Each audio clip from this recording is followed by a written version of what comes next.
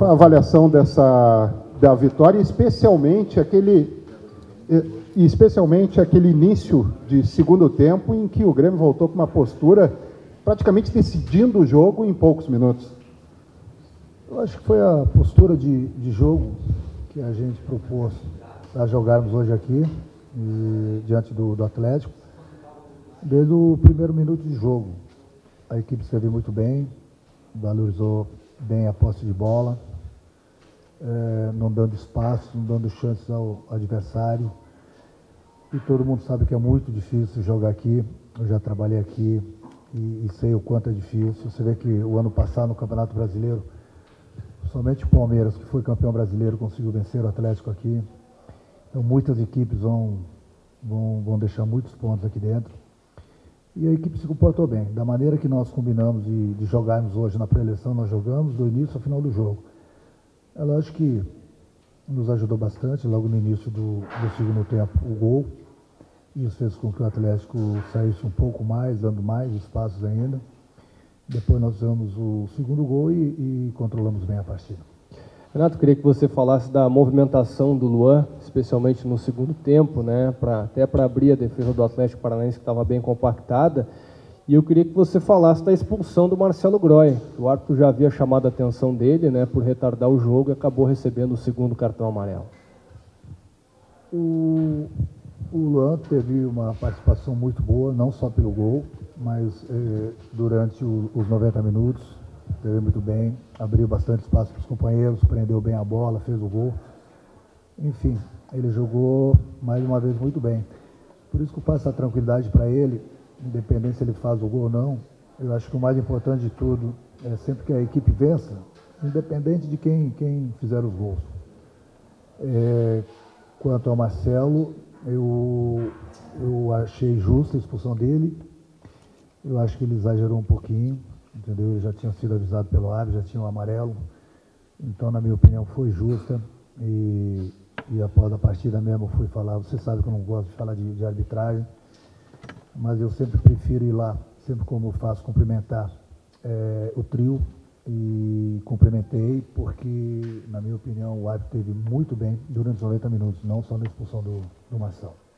Renato, até no lance ali com grafite, você não acha que às vezes uh, o Marcelo está tentando forçar demais alguma situação, retardar o jogo, ser um pouco malandro demais? Não, quanto a isso aí, isso aí já é um papo meu com ele, um papo com, com o grupo, eu falei da, da expulsão que eu, que eu achei justa, entendeu? É, eu não, não gosto desse, desse tipo de jogo, sinceramente. Eu vejo até outros jogos, acontecem as mesmas coisas, eu, eu não gosto, não gosto. Eu gosto do jogo jogado, entendeu? Mas isso é um papo meu com ele.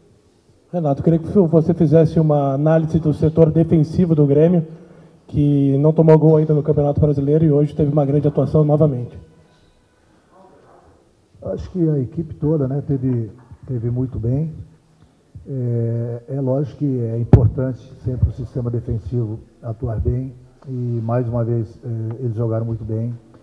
Nós perdemos o, o, o Marcelo é, no jogo contra o Botafogo, se não me engano, e e o Cortez entrou, entrou muito bem, o sistema continua bem, bem entrosado.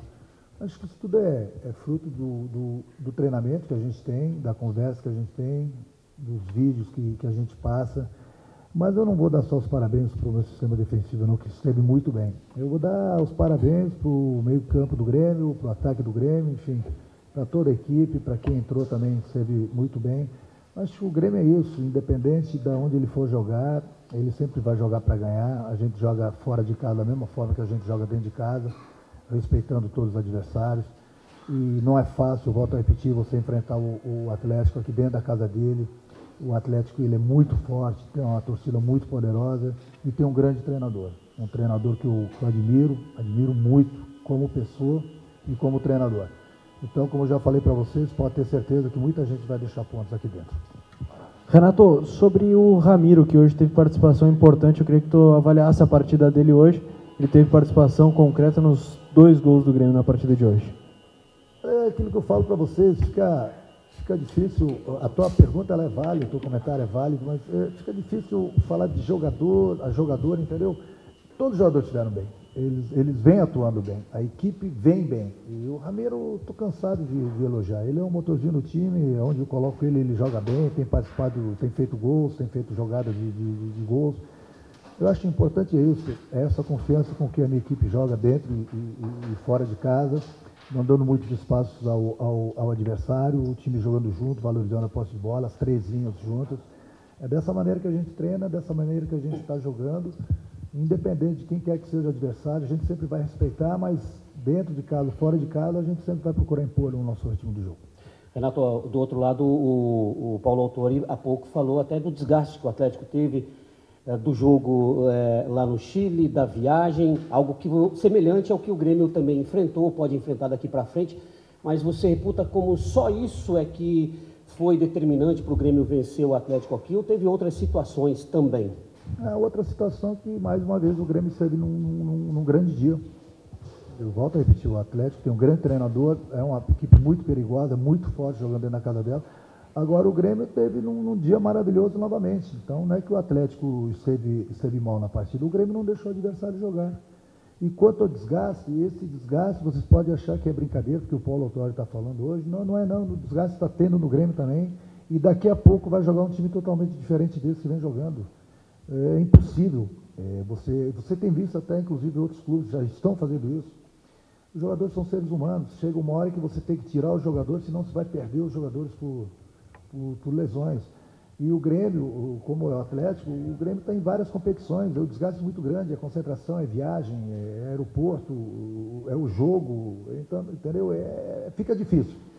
É, não tem clube que aguente. Então, já avisei os jogadores, já estou avisando vocês, que daqui a pouco, já já, vai jogar uma equipe totalmente diferente dessa que, que vem, para o bem do clube, para o bem dos jogadores, para que a gente daqui a pouco não tenha mais cinco, seis jogadores no departamento médico. E se não tivermos esses jogadores no departamento médico, daqui a pouco os jogadores não vão conseguir correr dentro do campo, devido ao desgaste físico que eles vêm tendo.